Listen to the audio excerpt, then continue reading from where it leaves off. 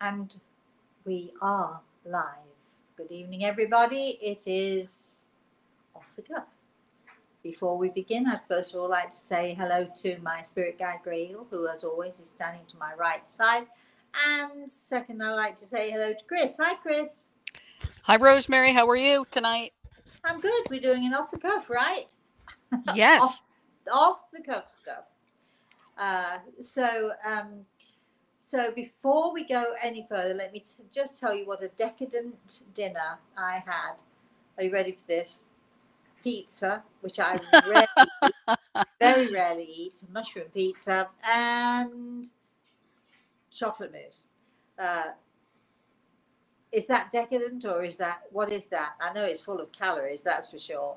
But anyway, that was my that was my dinner tonight. What did you have, Chris? Or are you still eating? Um, I had just started to have a piece of leftover chicken. All right, right. Oh, did I interrupt your dinner then when I called to say, shall we do it? No, we were planning on 8:30, so I was just trying to uh, maximize the minutes. Oh, okay, okay. All right. Well, um, do we? Is there anybody there? We have people starting to trickle in right now. We Okay. know since we're this is unplanned, it's sometimes harder for people to know you're coming on. Yeah. Well, you know, it's like I think it's a surprise when people see that thing flash up on the phone or on their iPad or whatever it is. They think, "What? She's here? She's what now?" Yes, we're here. We're now. We are live, and uh, what we're going to do is because it it is off the cuff, so we're going to spend. I don't know, as much time until the questions stop coming in or until I'm tired and I've had enough. How about that, Chris? What do you think? I So, think that's good. if the questions if the questions stop before I've had enough, that's when we stop. So uh, we're sort of we're here for everybody. We're excited. We haven't done an off the cuff for ages and ages and ages. Uh, but here we are, and we're raring to go. And this is the start of us.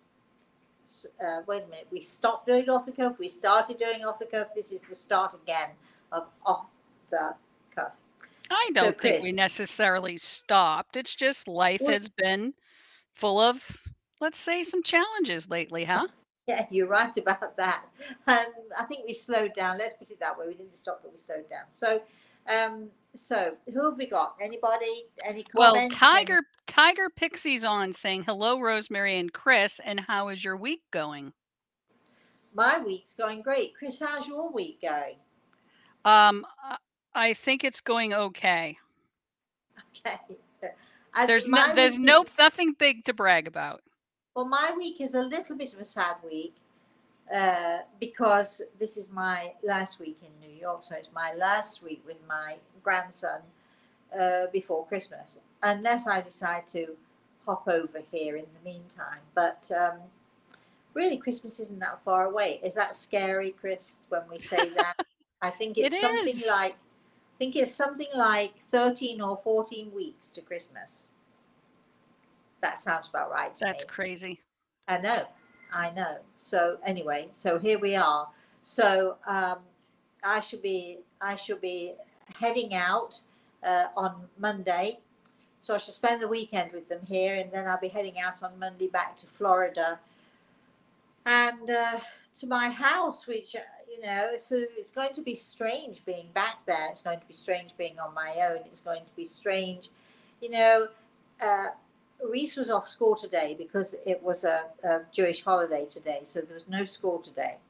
So I've had him all day long, and he has done nothing but chatter and chatter and chatter and chatter and chatter and chatter the whole day through.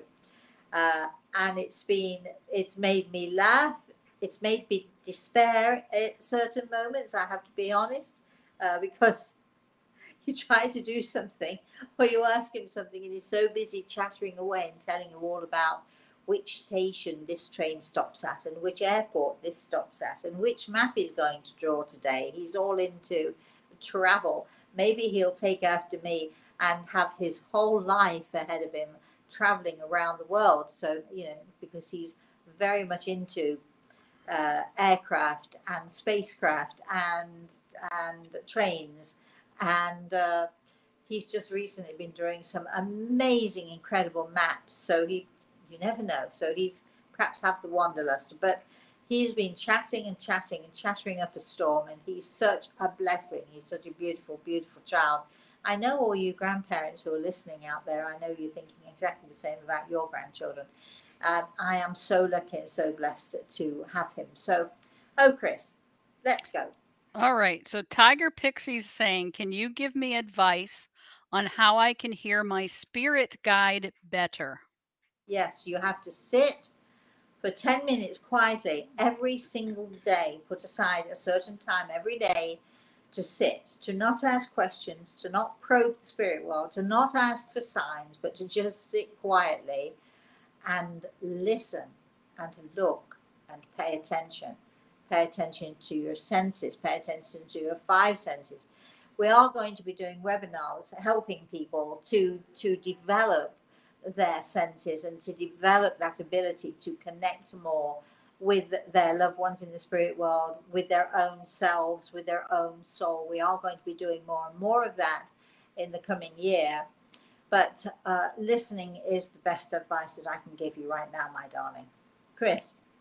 Well, because you mentioned 14 or so weeks until Christmas, whatever the exact amount is, Eric wants to know Have you begun preparing the Christmas cake yet? It's Eric. it's funny you should ask. Uh, we were talking about it the other day. Um, but no, it's a tiny bit early yet. I usually make it six, seven, eight weeks beforehand. Uh, so it's a tiny bit early. But, you know, maybe when I get back, I have to gather all of the ingredients because some of the ingredients you, you cannot get in this country. Of course, you probably can get them on Amazon at an extortionate price, but some of the ingredients you cannot get here. If I tell you that you cannot buy if anybody knows where in America I can actually get sultanas, I'd be grateful. Some of you are saying, What are they? And they're like a dried fruit. They are not a raisin. Uh, let me tell you, they are very different, plumper, more delicious in some ways than a raisin. But raisins go in the Christmas cake as well. But I've often had to substitute raisins for sultanas. So but um, I might have a packet or two in the freezer. I'll have to have a look. I'll have to search them out. But I have a friend who brings them to me in bulk. But as she only comes every couple of years, I'm running out. So if anybody knows where to get sultanas in America, so I don't have to pay the shipping fees or the extortionate uh, prices that they charge here for them, I would be very grateful. Chris. All right. Eric wants you to talk about flying cars. I have no idea what, that means. Cars. He just wrote flying cars question mark? I know nothing. nothing. Sorry. Uh, okay. Uh, you've got to be a bit more specific about that, Eric. I, mean, I know nothing about flying cars whatsoever. So, sorry. Lisa says, I enjoyed your book, The Eagle and the Rose, and I have a question. Are our loved ones who have passed able to hear our thoughts? everything. They're able to hear, to see, to sense, to be aware in every way. Uh, you know, when we're growing up, we have our secrets between, you know, we don't tell our parents various things. We maybe don't tell our siblings various things. We maybe don't tell our family, or we don't even tell our friends. We keep secrets to ourselves. But guess what? There are no secrets. Those in the spirit world know all of our secrets and don't worry don't start to wonder and worry do they not like you anymore? Do they not love you anymore? Because they're fully aware that those secrets are you know ours ours to keep and ours to own. They might know our secrets. They might know of our secrets. You'd be amazed. I can remember once uh, having a consultation with a lady who was uh, she she one of her biggest issues was that she didn't matter what she tried for years and years and years and years she couldn't lose weight and she only ate very little of this and she only ate very little of that and on and on she went. And her mother at some point who was in the spirit world listening to all of this started laughing. And she said to me would you like to know where her she keeps her secret stash rosemary? And, she, and the mother told where the where this poor lady kept the secret stash chip potato chips and chocolates and she would she would uh, you know go to bed at night and her secret stash was in her bedroom and she would just nibble away when she thought nobody was looking. Uh-oh. Sorry. Sorry to tell you but any one of you doing that thinking that nobody knows what you're up to think again because our loved ones in the spirit world as our thirsty show does tell us the spirit world sees all and it does. Chris All right. Sharon has two questions for you. A two part question. Is it hard for our loved ones to adjust to not having a voice box in the spirit world? And does it take time to learn how to communicate? Um, well, well, that is a new question for me. Uh, why would we need a voice box? When I talk to the spirit world, um, I talk to them mind to mind, uh, emotion to emotion, connection to connection, uh, as they do me. And their words are very loud and clear. I understand them perfectly, and my words to them are very loud and clear, and they understand perfectly. So we may not use our voice box, but we definitely have a voice. And we don't have to learn how to use it either. Ah, that's a new one. Yes. Chris. Well, that's good because I've asked people in the chat room to try to stump you tonight, Rosemary, so we can have some new and different and interesting questions. So I hope Have they come you through. really? I you have. really?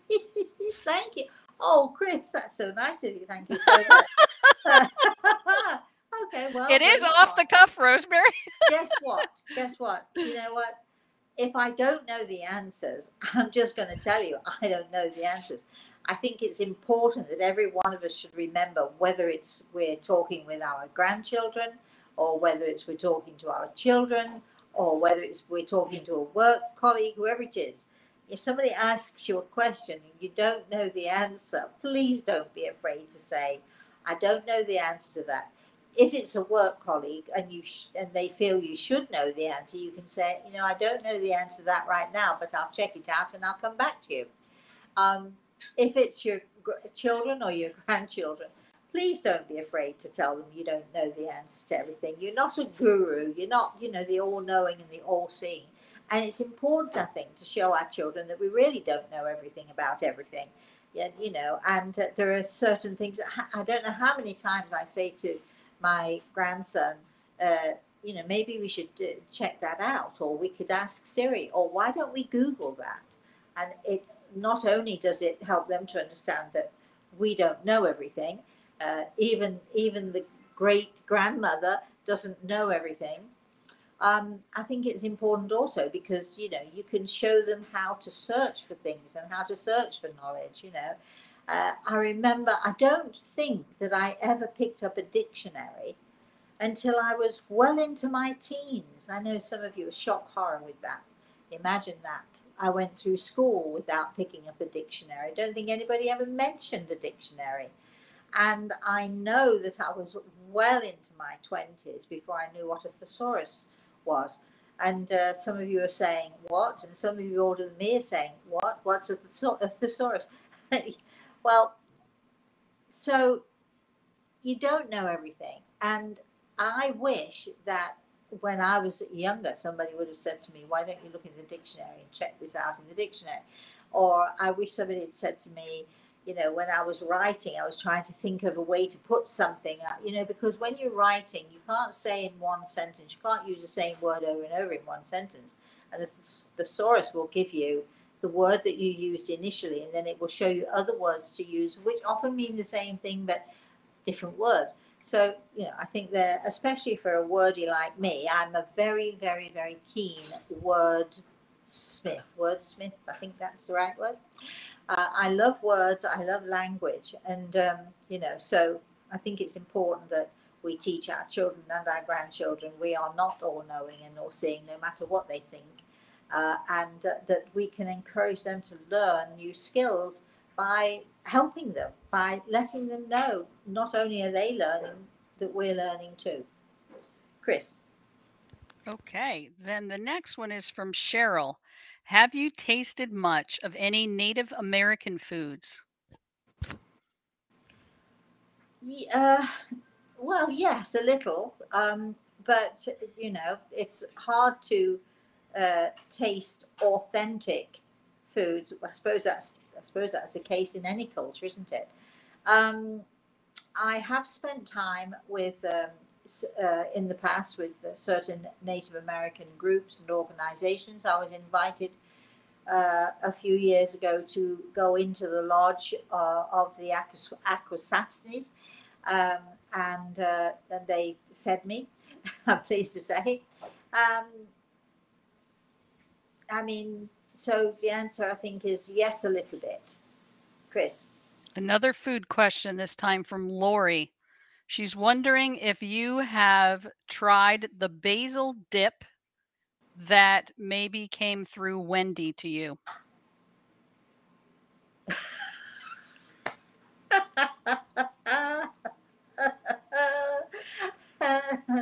a correction, a correction here.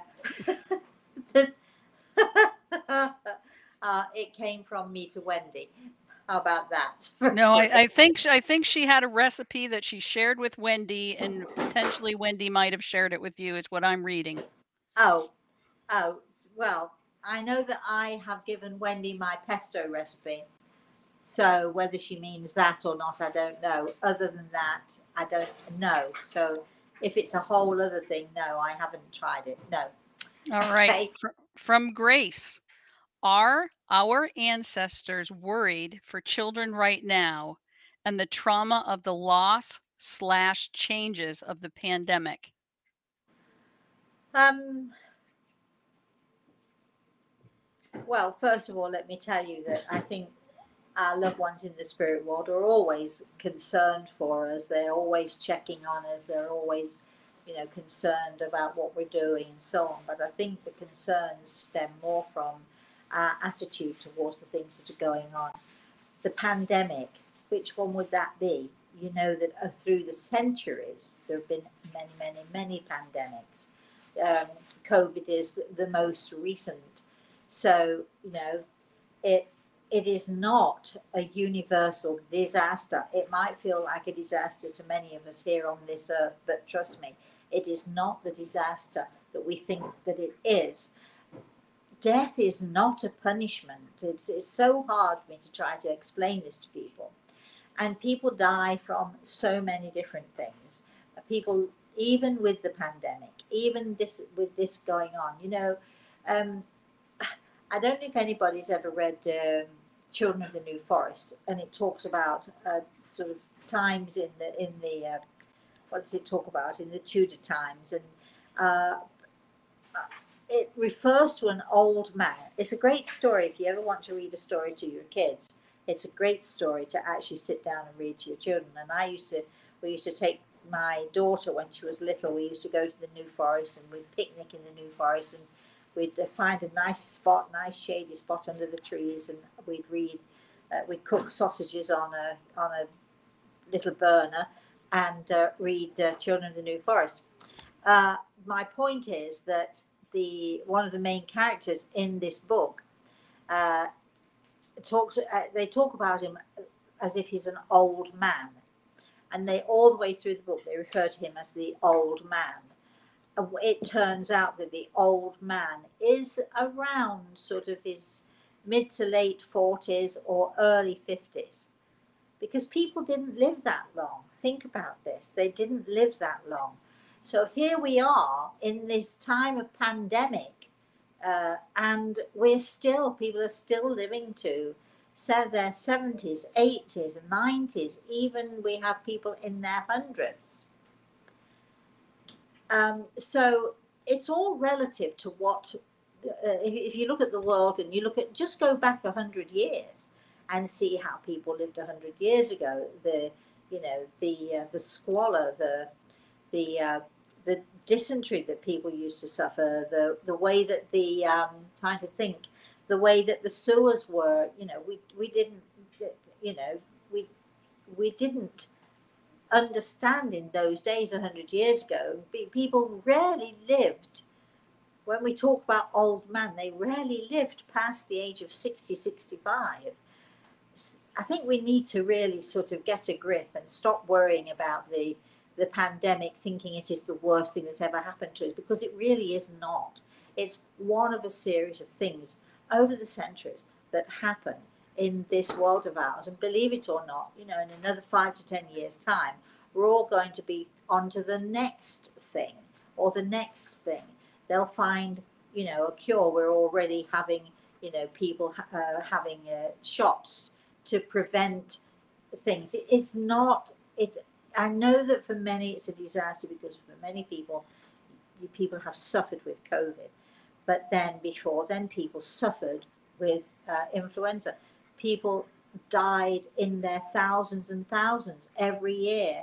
Even now, died in their thousands and thousands just with the regular common cold, which turned into sort of something worse, influenza. And um, you know that we we if we have to sort of uh, stop being panicked by this and stop worrying about this. There's nothing we can do except to do what we know we should do, which is to take all precautions that are necessary to avoid, um, you know, catching or getting something that we don't want. But that not only applies to COVID, it, it also applies to many, many other things as well. So, you know, I'm, I'm a great advocate of reason. So if we could apply reason to this, the spirit world is not concerned with um, with COVID. The, the spirit world is not concerned with influenza. The spirit world is not concerned with cancer. The spirit world is not concerned at the rate of heart disease that has increased exponentially over years and years and years to a point where it's become an epidemic uh, in in in some terms. Um, we have our choices in in this world of ours and in this life of ours. We have choices.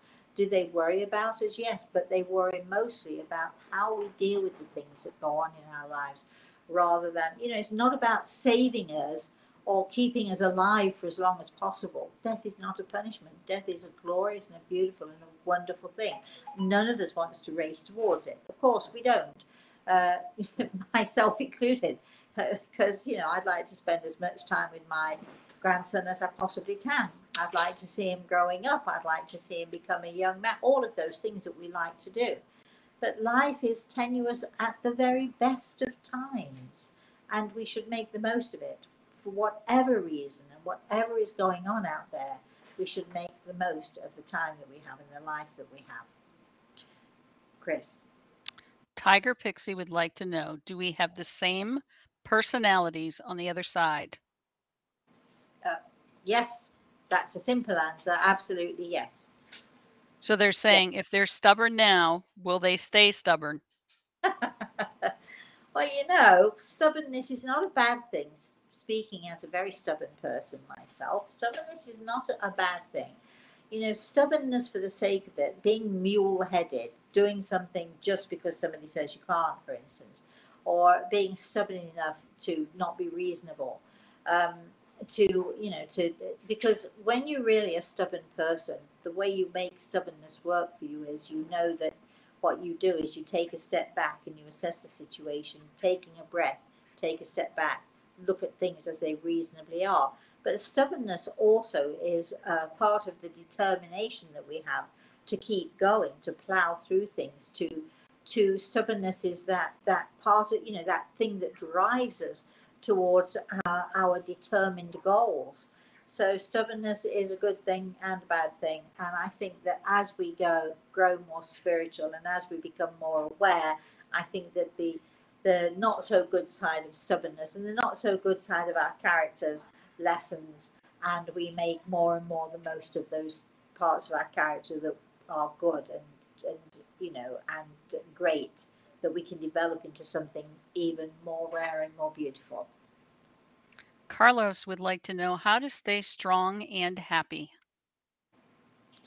Attitude. Everything is attitude, and I can't stress it uh, more strongly. Um, I was talking to my eight-year-old grandson uh, this week, and um, I was talking to him about the saying. You know, there's a saying, "Your glass is half full, or your glass is half empty." And he was uh, he was getting upset and being negative about. I don't remember even what it was now, but it's oh, and this happened, and da da da da, and I don't have, and this and so on and so forth. And I said, how about instead of looking at it with a half glass empty, how about looking at it with a glass half full? In other words, uh, oh, well, at least I have this and I can do that and I've got such and such. And he did understand the concept. And now I can apply it every time I see him going down that slippery slope of negativity. I can say, is your glass half full? If you've got, is your glass half empty? And even sometimes it's so hard for us. Uh, it's so hard for us to keep that uh, the ability to to you know to force ourselves sometimes to think whatever is going on there's always someone worse there's always someone worse off uh, but i think positivity is the best thing being positive and striving for positivity uh, somebody once said to me many many many many years ago you know no matter rosemary how low you are and at the time i was pretty sunk to the bottom.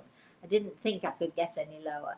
And this guy said to me, however low you think you are, listen very carefully because there's always someone knocking down below.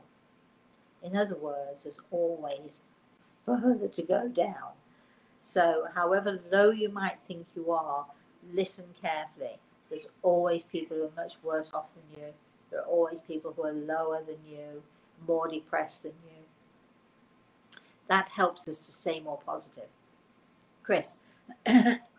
Eric wants to know Did you reincarnate after your life with Grey Eagle as Apache? Eric, you can't ask me those things. I'm thinking, why, why can't you? Well, just because you can't. Uh, so I'm not giving you an answer. How about that? Carolyn wants to know when first saw the spirit world. So I think maybe she means when you first saw the spirit world for the very first time. What surprised you the most? Well, when I first saw the spirit world, I was far too young and I wasn't surprised. I was terrified. So, you know, when you when you're just two and three years old and you see faces and you hear voices and they're all around you and they're whispering in your ear and you hide under the blankets because you're absolutely terrified but you can still see them even though the blankets are over you can still see them you can still hear them i think terror was the uh, the the feeling i felt the most uh, because i didn't understand it terror and uncertainty um, i'm trying to think I don't. I'm I, off off the cuff. I can't actually think of of uh, those first moments when I realized that this was a joyful and a wonderful thing. I'll have to think about that, and if I think about it and come up with the answer, maybe I'll tell you at another time. Lori yes. wants to know what is the biggest thing food wise that people in the spirit world miss the most. Have you heard any stories about that? Um, well, they don't really miss because they can live vicariously through us. So if I'm making my delicious trifle, which I usually only make around Christmas time, and my father wants to come in, I'm sure he can have a taste. I know that he can experience a taste through me, connecting with me, because we connect on a whole different level. It's we're not a physical thing. It's a it's much more it's emotional and spiritual and our senses take over and our you know our sixth sense connect, connects in and we connect with those in the spirit world to the point that they are experiencing what we're experiencing chris Sandra says um, she also had pizza too. Um, so she says, Ro- Rosemary, occasionally I will see a spark of light flash to my side. When I Ah, look straight at it, it will be gone. it's not there anymore, is it? That's Could so this be my spirit guide? um, it could be the chances are that it could be uh, someone in your family or someone you love or someone you care about in the spirit world it could be your family trying to let you know that they're around but that those little flashes that can be quite elusive uh, so just uh, have patience and uh, and take your time and you know i always tell people sit quietly for 10 minutes every day not to ask anything, not to ask a question, not to ask for a sign or a symbol or anything. Just, I'm here, I'm sitting here with you. This is my time with you. If you like to come and talk to me, if you like to come around me, that's great. And if you don't, it's also great. But this is my 10 minutes with you guys if you want to share that 10 minutes with me. And then you need to shut up. You need to stop your mind from working. You need to stop asking all those questions you know, give me a sign, knock three times, all of that stuff. I've done it all myself. I know what I'm talking about here. But if you just be quiet and you listen and you pay attention, you pay attention to your senses and your sensitivity, you raise your level of consciousness. We are doing webinars to help people to understand more what it is that I'm talking about when I'm saying these things. Um, and that way, uh, you know, give, what we're doing is we're giving them a chance. We're here, come around if you'd like. Chris. Gayleen says, My husband passed away four days ago. I pray to him if we are going to be okay, and he is with me and our kids and grandsons. Well, first, let me tell you how very sorry I am for your loss. Uh, I'm asking Grey Eagle, who tells me it's a little soon for us to do this, but I can tell you that he's fine. And I can also tell you that there's no way in this world that you won't be okay. So I think you've got a lot of people in your family in the spirit world. I think you've got your beloved in the in the spirit world who's with you. I think you'll be fine. It feel it feels, and Chris, I know this is a, a question that's very close to you right now because this for those of you watching who don't know, Chris lost her husband a few weeks ago. So uh, you know, uh, as much as it feels like the end of your world has come, the bottom has dropped out of your world, you'll never be ever the same again, etc., etc. Um, I can promise you that you will be okay. Cheryl says, People on this earth being of different colors and sizes, I am wondering what this is like on the other side. I think it's much the same.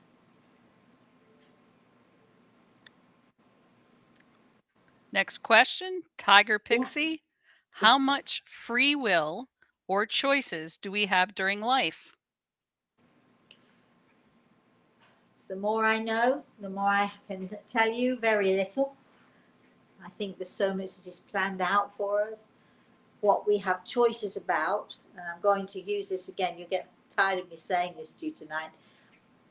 We have the choice of free will, of attitude, of how we're going to react to those things around us that happen.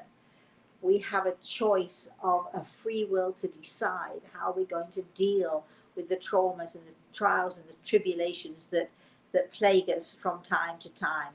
We have a choice in how we deal with other people, how we uh, either accept others or turn away from others or disparage others. It's all about our attitude. We have a free will about our attitude.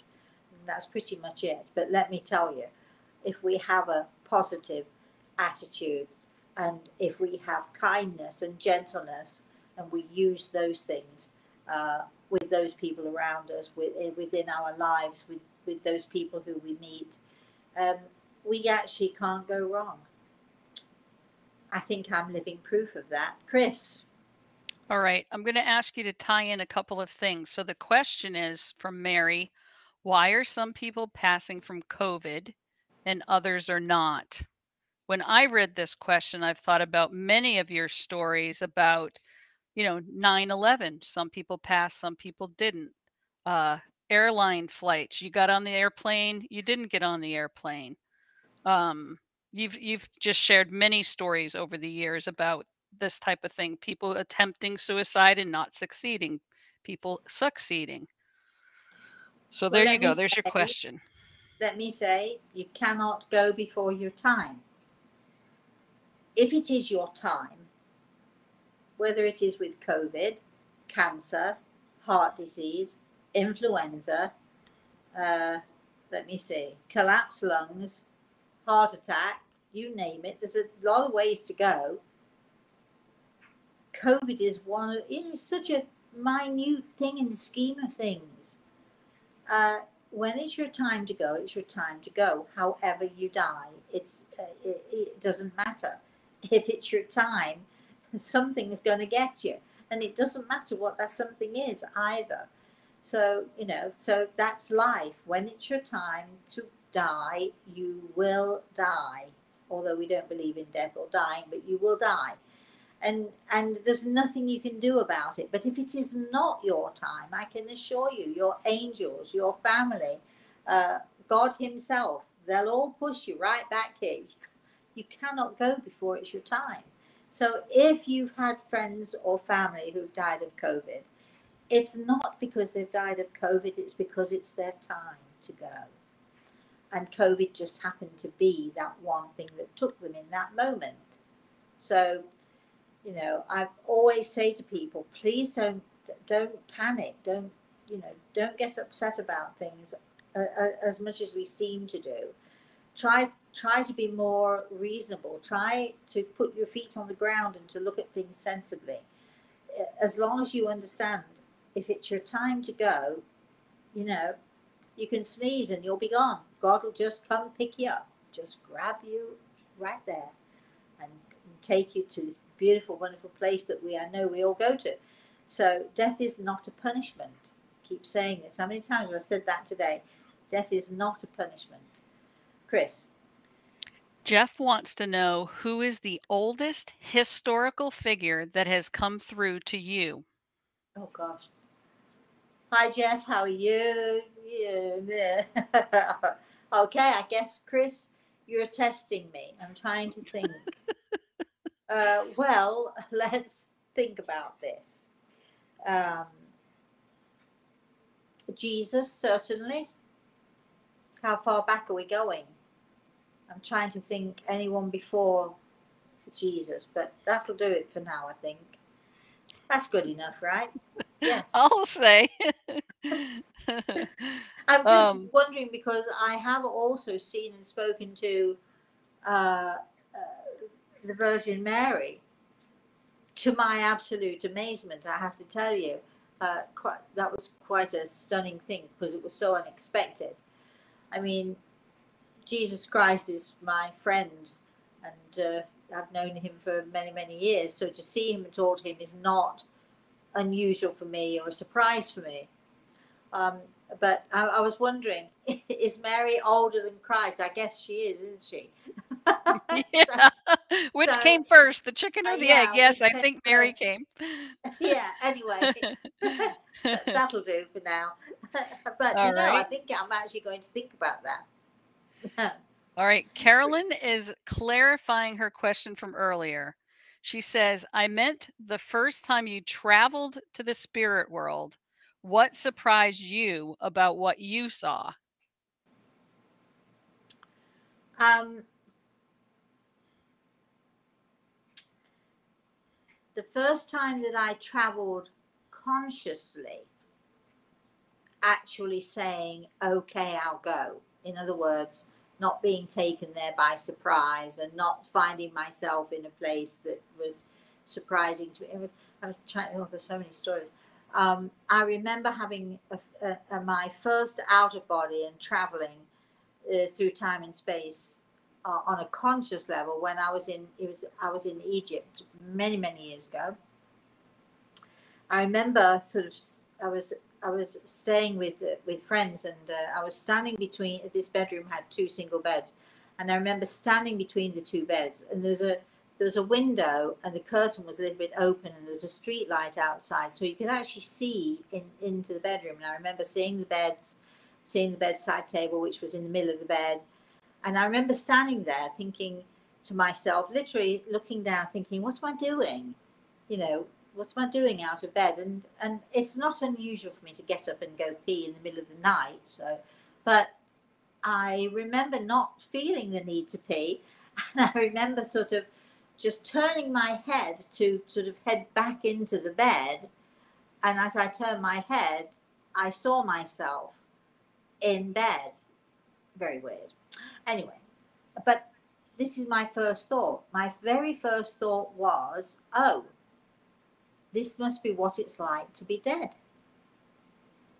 And then I was off and traveling. But I wasn't surprised by that.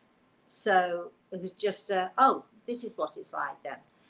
Um, I think uh, there was a time when, and it was in the very early days when I experienced traveling, and I found myself in this place. And I would say that I was more excited than surprised.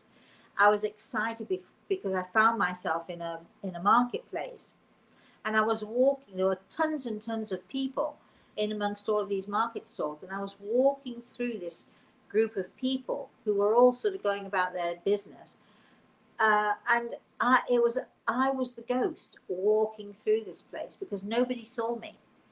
And I just kept turning to people and saying hello and hello, and I was so excited by the colours and the and the the, the sort of incredible um, you know energy uh, of everything going on. The, the colours were amazing, and so I was excited. I wasn't surprised so much, but I was excited.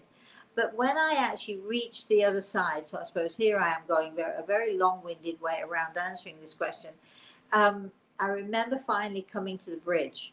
Sort of, I'd walked through the town, this marketplace. I'd walked through. I came to a bridge, and there were two. I can only tell you that there were guardians standing one on either side of the bridge. And as I stepped up onto the bridge, it was one of those little Humpty back bridges with a with a sort of a stone wall going across it. And I remember stepping up onto the bridge and one of the guardians, these guardians stood onto one side of me and the other stood on the other side of me. And I remember putting my hands on the, the parapet, on the on the wall of the bridge, and uh, and looking over um, the uh, the scenery. And um, uh, and I I turned to the this the person, uh, the guardian on my right, and I said, "Excuse me, could you could you tell me where I am?" and uh, because I was so excited and fascinated by everything that was going on. And uh, she said to me, uh, You're on the A21. And as she said it, she put her hand on my on my hand. And that was probably the most surprising, the most shocking, and the most terrifying because her hand was solid on mine. And all of a sudden, everything that I'd experienced this far in this one particular uh, time travel experience, if you if you like, was suddenly beca- because she was so real. It was flesh on flesh, and uh, and it shocked me, and it surprised me, and it terrified me all at once. And I just thought, I just, I need to go home. I got to go home. And the next thing, I found myself flying backwards into my into my bed, into my body, into my bed. Yes, very weird. Anyway, so yes, uh, but I do write about that particular story, that experience, um, in my books. I'm not quite sure which one you'll find it in. That means you've got to read all of them, doesn't it, to find that story and many others like it. So there you go, Chris. Mona wants to know Will I ever find true love? Um, well, this is an interesting one because Gregor tells me you already have true love. Um, you have the love of many people. You have the love of, excuse me, many people in the spirit world. I don't think you could get a truer love than the love that was given to you as a baby. Interesting.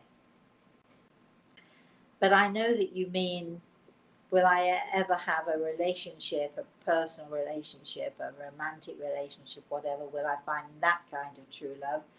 But I think if you first start with the fact that you already have it, so you know what it feels like, you've had it, maybe not from people you necessarily wanted to get it from, but uh, you've already had it, you know what it feels like, and then reach for it. Just go out there and reach for it. If you're sitting at home and twiddling your thumbs, the answer to your question is you'll never find it because it's not going to come to you. You've got to go out and get it. Chris. Brittany says if someone only feels things spiritually without ever seeing things, are they still gifted? Absolutely. Um, uh, uh, very, very wonderful healer, Paul Denham, who has, I'm sure, since passed, unless he's lived to be a hundred and something. Uh, he was. You can read his. You can read about him in the Eagle and the Rose, uh, and uh, he he was a healer for thirty years. Never saw a thing. Never experienced a thing by sight, but he felt and he sensed and he just was aware. And he was the most amazing, gifted healer. One of the most amazing I think I've ever met. So you don't have to see to know. Chris. I'm going to combine two different people's questions here. Um, Twiggy Leaf says, I heard that your daughter saw a fairy once. What did it look like? And Judith says, Edgar Cayce saw fairies. His son later saw fairies. Hmm. Yeah. Okay. Well, um, well, we all know, or most of us, if you do, if you're listening to this, you don't know who Ed Cayce is. Please check him out. Uh, amazing. He has a an amazing uh, center. He's he's passed years and years ago, but uh, oh boy, he was extremely gifted. Um, my father was I did not see the fairy, and I have never actually seen a fairy. So just to put the record straight, but my father, who was uh, staying with us at the time on a very very rare visit, uh, was down at the bottom of the garden. Yes, that's where the fairies are, isn't it? Down at the bottom of the garden with my daughter, who was then probably maybe four, five, six, something like that you know, she she wasn't older than that because my my daddy passed when she was uh, six years old. So she'd probably be maybe about three or four years old at the time. And she came running in, s- s- just beside herself, mummy, mummy, mummy, mummy, mummy, quick, quick, quick. And she was clasping her hands like this, holding them really, really tight. And she said, I've caught a fairy, I've caught a fairy. And uh, my father came in behind her and he's beaming, beaming ear to ear, and he's nodding at me and saying, Yes, she caught a fairy. So I sit and I know she was running up to show the fairy to me, and she she opened her hands out like this. There was nothing there. And her eyes grew really wide and really big, and she started, her bottom lip started to tremble, and I said, Oh my goodness me. Well, I know the fairy was there because it was you for you. She, she came for you, and it's your magic. It's not mummy's magic. It's your magic. So, oh, I love magic. Don't you love magic? I believe in magic very much so. So, anyway, Chris. All right. Grace is asking Do the perceptions of people who die change after death? Well, yes. of course. what about all those people who don't believe? In an afterlife, you'd be amazed how many people I've spoken to in the spirit world. Well, I didn't believe in this until I got here, and now look at me. Uh, yeah, of course, perceptions change. Experiences, I mean, perceptions change with all of us from the time we're born until the time we die, all the way in between there. Our perception, perceptions of things change as we learn, as we grow, as we have more experiences in different ways. So, of course, our perceptions change because we're learning and we're growing all the time. Mona wants to know Do you think the JonBenét Ramsey case will be solved? Well, it already is, and I shouldn't worry about it anymore. That's all I have to say about that one. Carlos is asking for personal advice about love. Who is? Carlos. Well, um, we, I wish, oh gosh, I wish I had more time for you. Uh, if you need personal advice, well, to talk about it in public like this, it sort of stops it from being personal, doesn't it? But I'm going to suggest that you either come to one of our webinars or you um, or you sort of book an appointment either with me or with somebody like me uh, and make a private appointment because I think you know the subject is it's a long one. Chris. Uh, Vera is saying, I have a photo of Hans Christian Andersen, the fairy tale teller. I took some pictures in through the window of his childhood home. He is sitting in a chair as an adult, and you can see his face and body. You can see his face, what? And body. Oh, right. nice. Well, uh, Danny Kaye where it came from, I could not tell you, but that name just appeared in my mind. I don't know if you've ever seen uh, Danny Kaye playing Hans Christian Andersen. Danny Kaye is an old movie star. Uh, he was a comedian, but he plays Hans Christian Andersen better than anybody else I know. And those movies, if you can find them, I'm sure you'll be able to find them on YouTube. Just Google Hans Christian, uh, just Google, sorry, Danny Kaye, uh, and I think it's K A Y E. Um, and uh, Danny Kaye and uh, Fairy Tales, or Danny Kaye and Hans Christian Andersen, uh, and um, oh, they're marvelous films. They're marvelous for you know to sort of even though they're old, they're still marvelous to show to your children. They're magical movies. Chris. All right, we're coming up on the hour, Rosemary, about five okay. minutes. Okay. Um, Vera said, no, sorry, I just read that one. Um, Tiger Pixie says my aunt passed last Saturday. Sorry, uh, let me read this again. My aunt passed last Sunday. We had her funeral yesterday, which was so beautiful. I hope she was able to see it all. I'm absolutely certain that she was. I'm absolutely certain. Chris. And then last question. Rhonda would like to have confirmation that her aunt Maryland, who's on the other side now, knows how much I love her. I think you know that she knows. You just would like that confirmation. You would like me to say she absolutely knows that you love her. But I am going to put this question to Grey, Grey Eagle, who is nodding and saying, absolutely, you have your confirmation.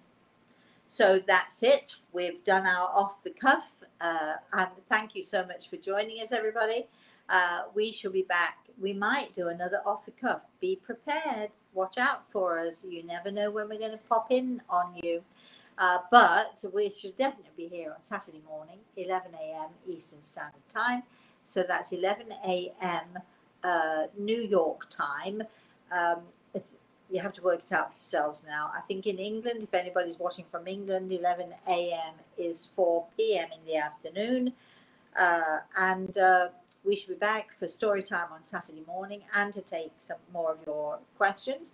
Uh, and we should be popping in and out uh, from time to time doing off the cuff. And of course, we'll be back next Thursday morning with our The Spirit World Sees All as usual. And you can find us on YouTube, you can find us on Facebook and Instagram and uh, Twitter and LinkedIn. Twitter and LinkedIn and all those other places.